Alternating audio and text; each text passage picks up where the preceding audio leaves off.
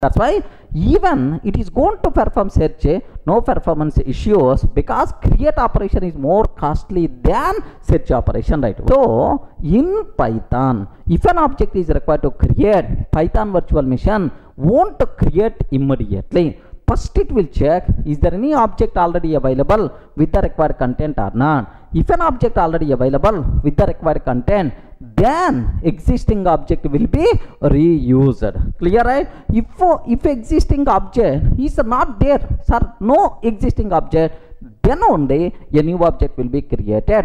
Memory utilization, performance will be improved, sir. Sir, reusing existing object, performance will be improved. You are telling, sir. But uh, whenever we are creating an object, every time my Python virtual machine will search whether this object is already available or not. That's why even it is going to perform search, no performance issues because create operation is more costly than search operation, right?